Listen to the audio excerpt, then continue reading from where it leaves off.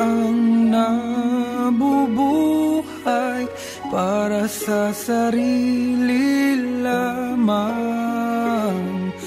Walang sinuman ang namamatay para sa sarili lamang.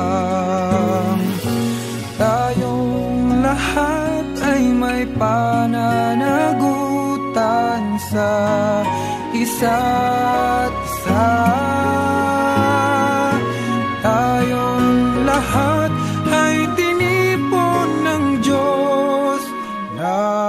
kapiling niya Sa ating pagmamahalan at paglilingkod